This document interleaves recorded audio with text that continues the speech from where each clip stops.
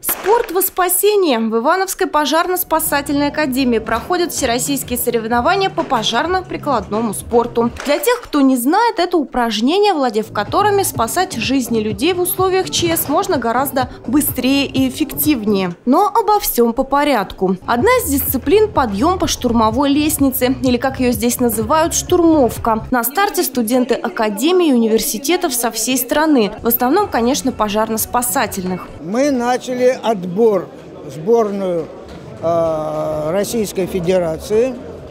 Э, в этом году у нас э, чемпионат мира в армии для детей. И в Словакии мы будем проводить чемпионат мира взрослых команд.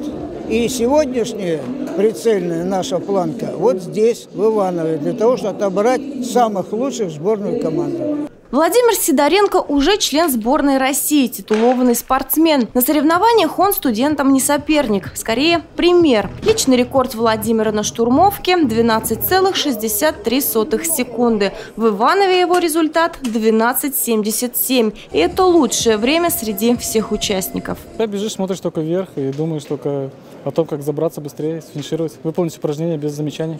В реальной жизни навык быстро забираться по штурмовой лестнице тоже пригодится. Ведь так важно экстренно оказаться на любом этаже, где в пылающей квартире кто-то, как чудо, ждет спасения. Пожар там, когда невозможно по выдвижной лестнице, можно подниматься по штурмовой лестнице, вот как показано было на, штурмов, на штурмовке.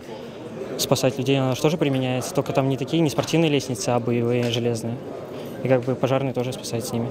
Самым быстрым при подъеме по штурмовой лестнице оказался питерский спортсмен. В пятницу участников соревнований ждет полоса препятствий. Елена Белова, Денис Денисов, РТВ Иванова.